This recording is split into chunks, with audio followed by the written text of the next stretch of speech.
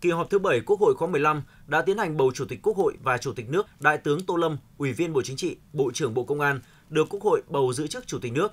Đây là vị đại tướng thứ ba của Việt Nam được giao trọng trách giữ Chủ tịch nước. Trong lịch sử nhà nước Việt Nam có hai đại tướng là Lê Đức Anh 1920-2019, nguyên Bộ trưởng Bộ Quốc phòng và Trần Đại Quang 1956-2018, nguyên Bộ trưởng Bộ Công an đã đảm nhiệm chức Chủ tịch nước. Đại tướng Lê Đức Anh giữ chức Chủ tịch nước từ năm 1992 tới năm 1997, nhiệm kỳ Quốc hội khóa 9.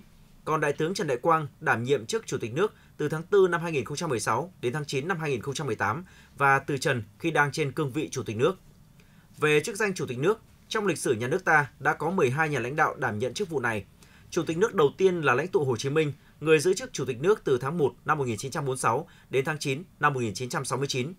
Về tên gọi, có giai đoạn từ năm 1981 đến năm 1992, theo Hiến pháp năm 1980, gọi là Chủ tịch Hội đồng Nhà nước. Hai vị lãnh đạo đảm nhiệm chức danh Chủ tịch Hội đồng Nhà nước trong giai đoạn này là đồng chí Trường Trinh 1907-1988 và đồng chí Võ Trí Công 1912-2011. Năm 1992, Quốc hội ban hành Hiến pháp năm 1992 trở lại với tên gọi Chủ tịch nước.